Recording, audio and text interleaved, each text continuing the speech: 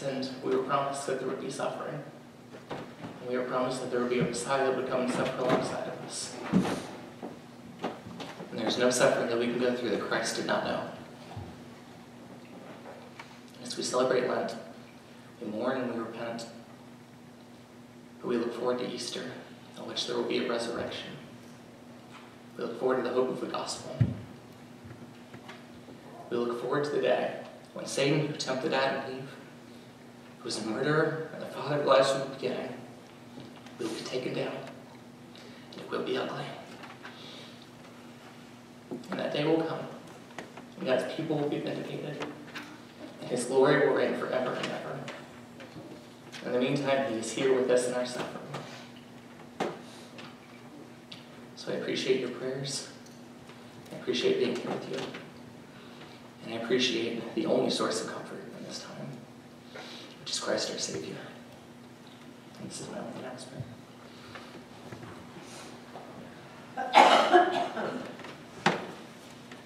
Before I have announcements this morning, I'd like to have us all pray, please. Dear Heavenly Father, come to you this day. We do thank you for all our many blessings. Lord, we thank you for the pastor, family. Thank you for sending him to us. We pray now that you would be with them, put your hand on them, guide them. Lord, we know that they need your comfort and your care. And we do pray for that here this day. And we pray this in the name of our Lord and Savior, Jesus Christ. Amen. Announcements this morning. Um, Monday, we have an elders meeting at seven. And Thursday, it's trustees at seven. I think that's all I have for announcements this morning. Unless anyone else has any other?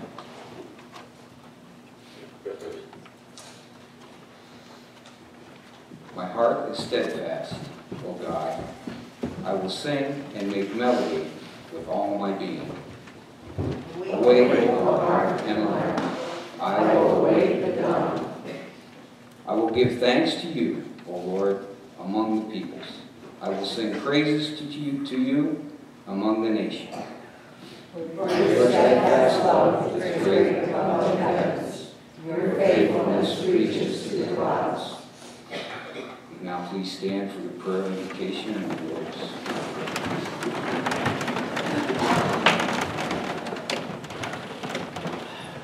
Please pray for me. Lord, we thank you for the great privilege that you have gathered us here into your house.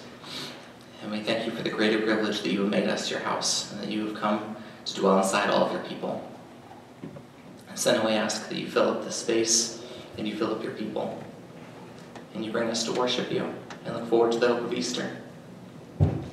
We also ask that you be with us as we pray the prayer that you taught your disciples to pray. Our Father, who art in heaven, hallowed be thy name. Thy kingdom come, thy will be done, on earth as it is in heaven. Give us this day our daily bread, and forgive us our debts, as we forgive our debtors. And lead us not into temptation, but deliver us from evil. For thine is the kingdom, and the power, and the glory forever. Amen. Please be seated.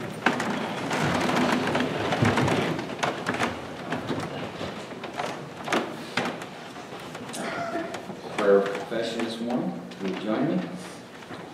Do not cast me away from your presence, and do not take your Holy Spirit from me.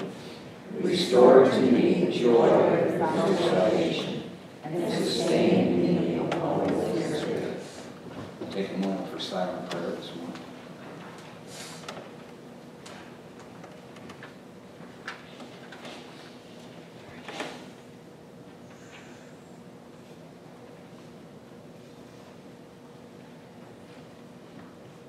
assurance of pardon.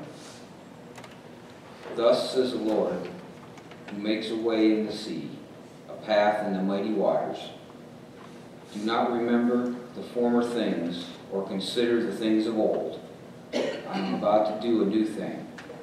Now it springs forth. Do you not perceive it? I will make a way in the wilderness and rivers in the desert. I will give drink to my chosen people and the people whom I formed for myself, so that they might declare my praise. In the name of Jesus Christ, you are forgiven. Thanks be to God. Now that we have been forgiven, we can have peace with God and each other. Share a sign of peace with your forgiven brothers and sisters in Christ. The peace of Christ be with you.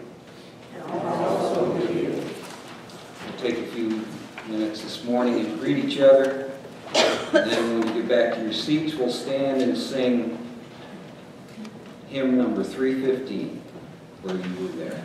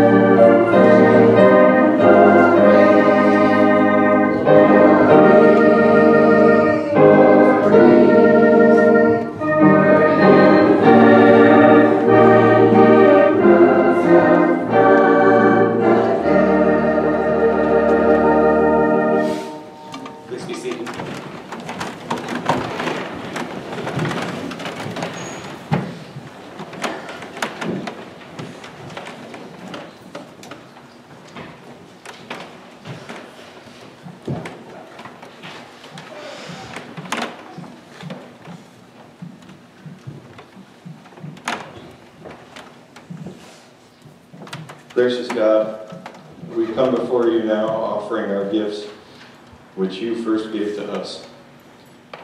Father, we pray that you would take these gifts, that you would use them here in the earthly kingdom. In the name of Jesus we pray. Amen.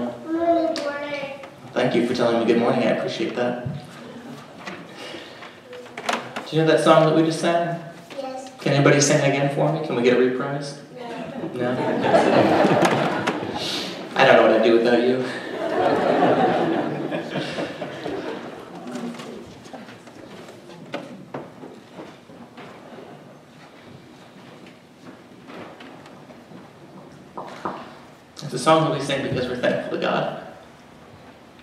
And He takes care of us in every way. We sing, Praise God from whom all blessings flow.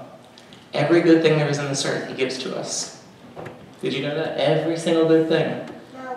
Yeah, it is. Every single one.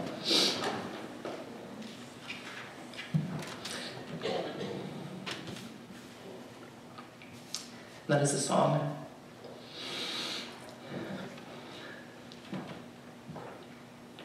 That's a song I sang each time one of my babies was born. Sang it to Jack, sang it to Ellen. Because I was so thankful to God that He would give me those children. Last night, when you guys were sleeping, about 3 o'clock in the morning, I sang it again. Because even though I'm going through a very hard time right now, all good things still come from God. And all things, even the things that are very difficult, work to the good of those who love God. And we don't have any idea how. But God has promised us that. And we know that He's good, and He's proved it for thousands and thousands of years. So I want you to remember if you ever go through a really hard time, you don't know why, that God is still good all the time. All blessings still come from Him, and we can still pray to Him and thank Him, even if we don't understand why. So will you pray with me?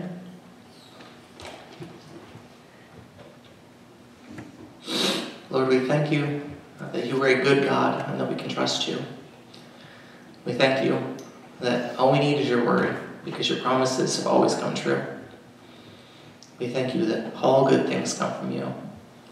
Any material blessing that we have, food or shelter or anything, all the people around us, they're all from you. So we thank you that anytime we can sing, Praise God from whom all blessings flow. Praise Him, all creatures here below. Praise Him above, ye heavenly host. Praise Father, Son, and Holy Ghost. Amen. You can.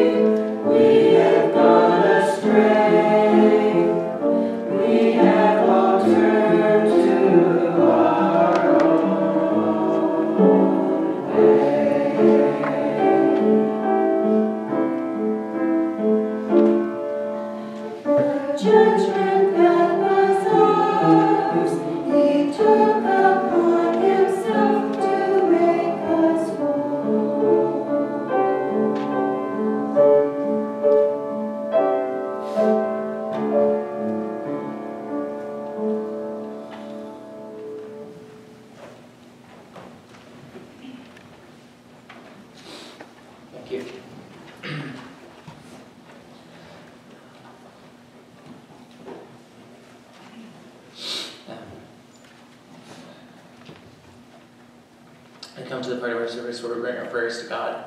So what are our prayers of petition of thanksgiving today? I thank God the deer didn't hit his head on, It got excited, glancing along the sides, did enough of it, but praise God it didn't do anymore. And we're here this morning. We got a late start on deer season, is that what you're saying? Alright, so, He just had a new headlight put in yesterday morning. Well, that ain't the one that got broke out, it's the other one. so Thanksgiving for safety on the road, but the deer didn't hit your head on. Absolutely, it was a huge one. I didn't have a chance to say deer, it was there.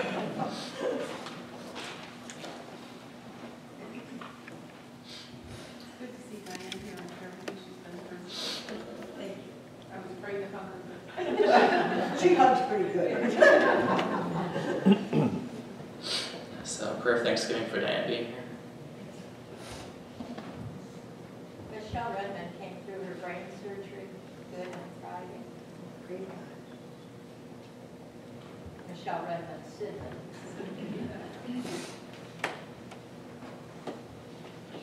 Alright, so prayer of thanksgiving to Michelle Redmond Sidley. Okay. Nobody here knows her as Michelle Redmond, I assume. Well, that's Her her maiden maiden name. Okay. Uh, got through her brain surgery well on Friday.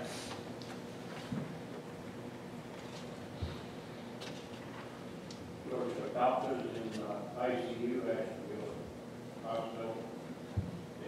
lost him previously during a routine operation. But, uh, he's in critical care right now. Pray for George Kapalka, who's in critical care will unexpectedly after a routine operation.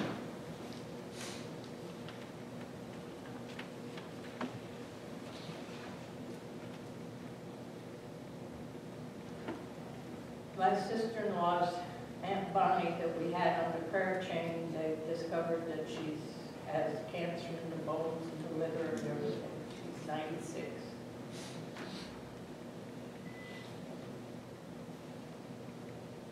Let's pray for Bonnie, who has cancer in her bones and her liver.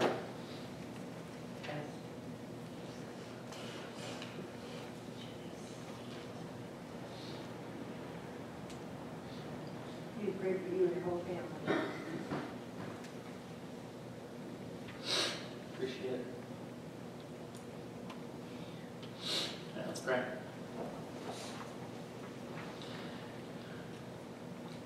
And we thank you that we can to you in prayer. Thank you that though we cut off the line of communication when we sinned against you in the garden, uh, that you opened it back up. And you care deeply about our difficulties and what we have to say and our joys. So we thank you uh, for uh, turning the, the deer to the side uh, so that it was not hit head on, uh, that everything is okay. We thank you that you brought Diane here uh, to be here with your saints.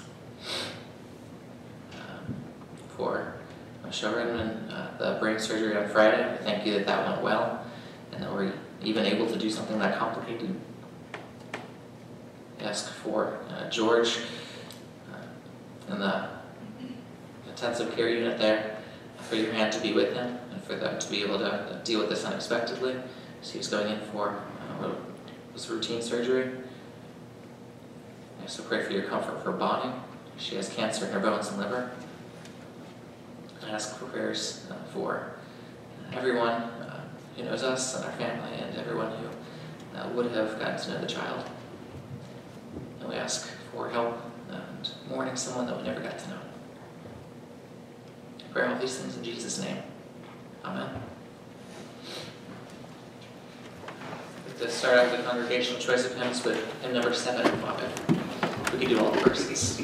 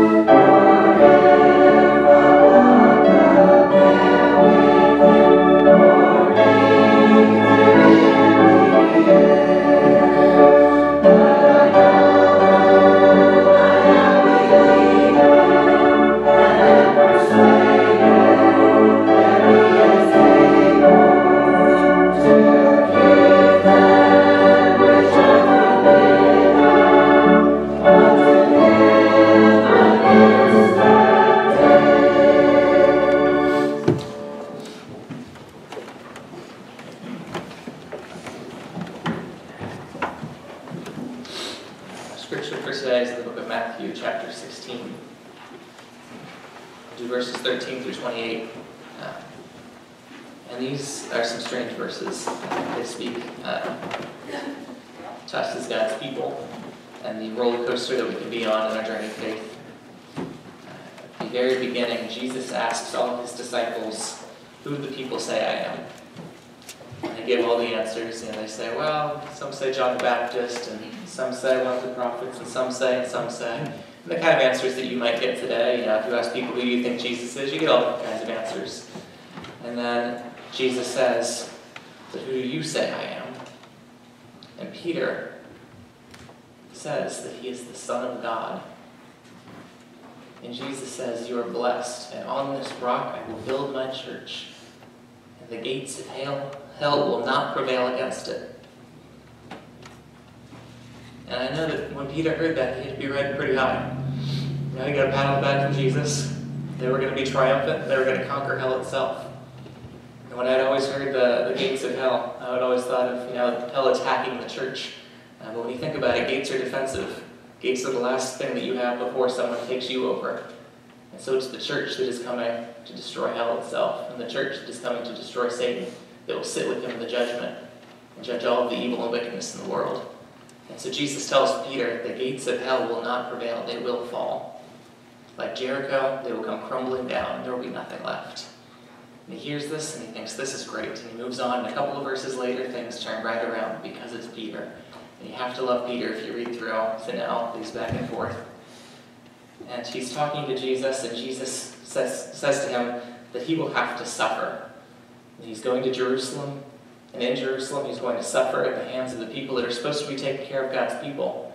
And he takes Jesus aside, and he, has some harsh words with him, which is unheard of for a disciple to tell his rabbi that he's wrong at all, let alone to pull him aside and chew him out. And he says, Lord, far be it from you, this will never happen to you. And the words that Jesus has for Peter are harsh ones. He says, Get behind me, Satan. He doesn't you know, have some, you know, so, oh, Peter, you don't really understand the finer points here. Let's sit down and you know, reason it out. He says, Get behind me, Satan. He equates him with the very being that tried to make God's people fall away in the first place, all over this issue of suffering. Because Jesus had to suffer and die. That was the plan the whole time. As we're here on this side of the cross, it's a little bit easier in hindsight to see what would have happened if Jesus hadn't suffered and died. Well, we all would be lost. Peter didn't know that at the time, but Jesus let him know, I have to suffer and I have to die. And then he moves on to say, and the church has to suffer. It's part of what it means to be a Christian, is suffering. That's what we look at in Lent. We look at Jesus suffering, and we know that as we follow a suffering Messiah, that we suffer alongside with him. But it is not suffering in vain, it is suffering with a hope.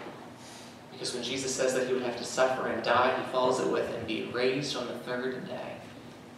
As we're in the middle of Lent, and as we're in the middle of any suffering, we look forward to the day when we will all be raised up to be with him. So as we look at the scripture, let's remember that we are going through Lent now. We are going through the difficult times now. It's the day that Jesus comes back. May it be today. And on that day, he will come back. He will bring his people. We will sit in judgment of the angels that rebelled against God. And the gates of hell will not prevail against God's judgment. So if you're able, please rise with me. Reading God's word.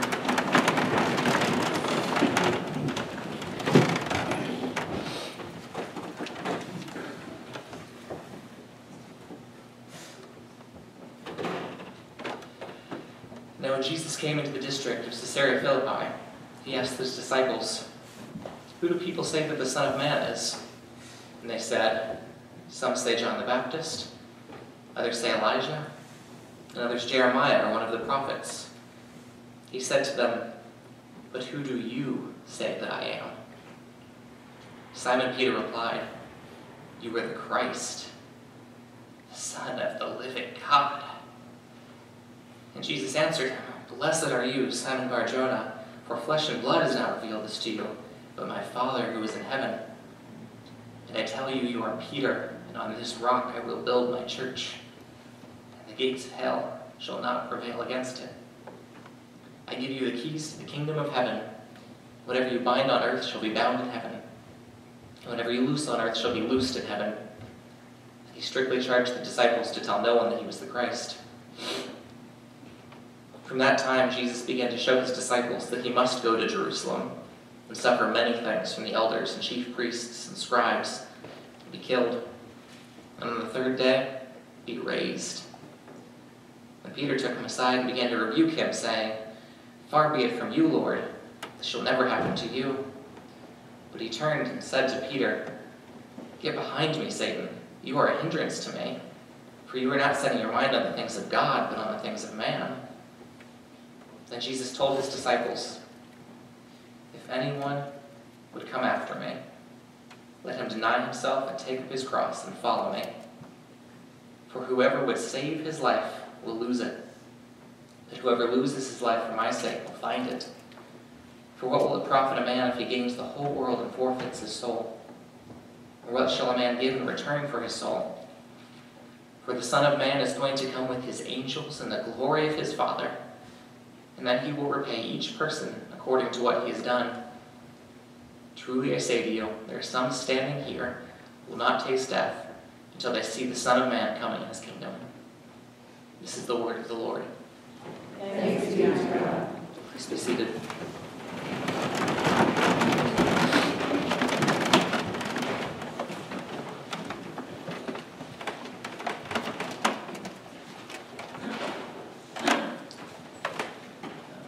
You'll understand that this will be a little shorter today. Never heard a complaint on a short sermon yet, so. We've already seen that Jesus is victorious. Um, I remember there was a, I was a youth pastor in a group who had uh, a kid who was just always kind of a pain, and uh, he was at a, a course with us, and he was usually just saying all these things that I had to explain to people, and you know it was kind of hard with him being there. Um, but somebody was asking him if he had seen certain movies, and they asked him, you know, have you seen The Passion of the Christ? And he said, no, but I've read the book. it was the funniest thing he ever said. Um, we've read the book and we know how it ends. And from this, we know how it ends. We know that Christ is victorious. And so, from the very beginning, we see that he's victorious. And as he's telling this to Peter, he's letting Peter know that he is part of his church and that he is giving the church, his people, the keys to the kingdom to go out and preach the gospel, to set free the captive, and to let people know that if you ask for forgiveness, Jesus will forgive you. And all of these things are so wonderful. But then as soon as he gets to the suffering, Peter does not like it. He does not like the idea of a suffering Messiah. But that's the only one we get. We get a suffering Messiah. And a Messiah that comes not because we are great, but because God is great and he loves us. And he comes and he suffers for us. He suffers all things. And we follow after him. And if you look at the early history of the church, uh, they knew well what it meant to be a suffering church. There were horrendous persecutions. Um, there were Roman emperors uh, that would kill Christians for sport and entertain the citizens with it. Uh, today, if you are in certain parts of the world, nothing has changed. In North Korea, they are executing dozens and dozens of Christians. They know what it means to suffer. Here in America, we don't always have that same understanding. Uh, we suffer, but not in quite the same way, so sometimes it's hard for us to understand the suffering. You know, sometimes we'll speak up for our faith and someone will yell at us and we say, oh, I'm suffering for the gospel, but we know nothing in comparison to what the disciples knew and the early church knew and the persecuted church around the world knows. But it's not a matter of degree. We still suffer. None of us could suffer anything remotely close to what Jesus suffered, but he still cares for us. And I think that that is amazing. Uh, if you've ever been going through something hard, and this is this has happened recently, but um, if you've been going through something hard, someone comes up to you with kind of you know a little whiny menial problem, and you think like, oh yeah, you have such a hard life, you know all these sorts of things.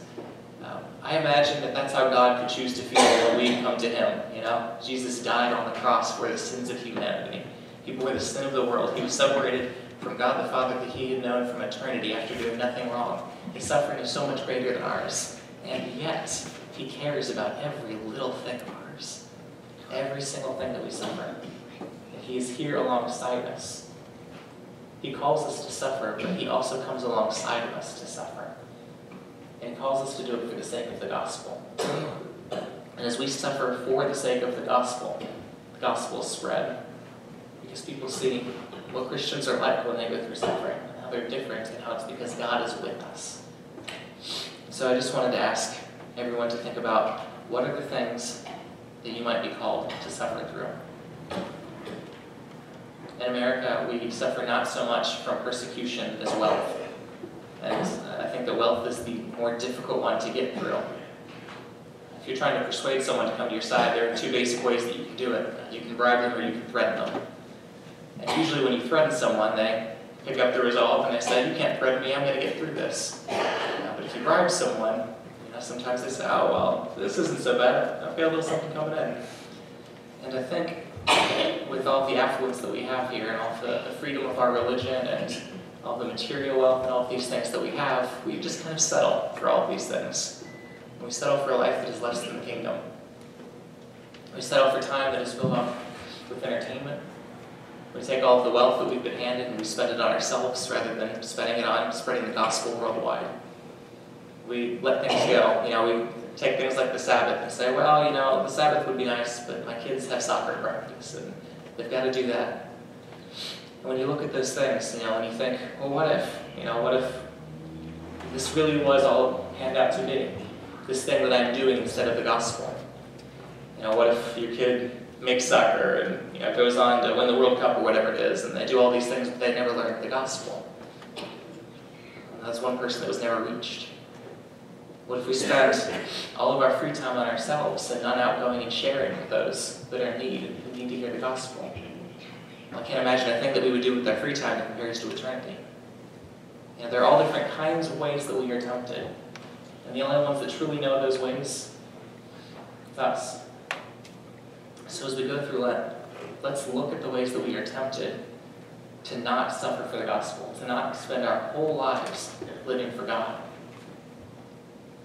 But let's not let it be a guilt trip. Um, I know, uh, because one side is Jewish and the other side is Catholic, so I get it for both sides. Uh, the guilt trip is strong in this one. Um, when Sarah and I were looking for wedding cakes, so I was asking uh, the caterer about something, and I said, we need some kosher options. And she said, oh, you're Jewish? And I said, yeah. And she said, oh, well, you know, the guilt must be terrible. I'm Catholic. So I've got it from both sides. So. but I know it can be hard for us in our faith. You know, we just see these things, oh, I'm awful, I'm awful. Um, and the answer to that is yes, we are awful. Um, but God loves us in the middle of that. He comes and He redeems us. And He doesn't call us to wallow in it. To repent is not to say, I'm sorry, I'm sorry, I'm sorry, I'm sorry, but I'm sorry, forgive me, please help me to change. So we look at these things and we ask God to help us change in the ways that we've been selfish, the ways that we've been living for ourselves rather than the gospel. And we look forward to the final day. Look forward to what God will do through us.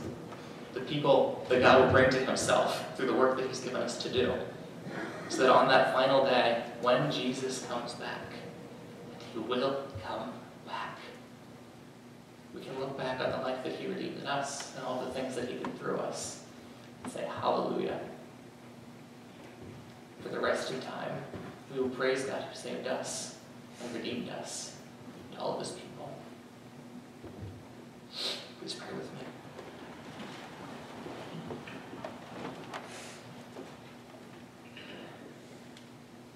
God, though we deserve death from the beginning, when we first sinned against you, you promised in the very beginning of Genesis that you would come down and you would come to crush the head of the serpent, and that he would crush you. That you would die for the sins of all of your people, and you would suffer for us. Though we did nothing to deserve it, you would suffer for us. 2,000 years ago, you came and you suffered and you died for your people, but you were raised again. And so now we ask, as we have been baptized into you, as you have made us your people, that you bring us into that death and that we die to ourselves. We die to all of our selfish desires, of our preferences, and our wants, and all of the things that try to tell us that I'm number one. And you give us a new heart and a new mind. You let us wake up every morning with the question, Lord, how can I serve you? How can I live for you today? How can I be a living sacrifice? we ask that you would turn us, one and all, to our purposes. You allow us to suffer together for the sake of the gospel. And out from this place, thousands and thousands and thousands of your people would come to inherit eternal life forever. For that to happen, we ask that you would help us to identify all of those ways that we try to live for ourselves instead of you. That you would help us to repent from them and give them up, not just for Lent, but forever. And look forward to the day when we will be with you forever. We pray all of these things in the name of our Messiah, Jesus Christ. Amen. Can you please continue worshiping with me as we sing hymn number 327, The Old Rugged Cross.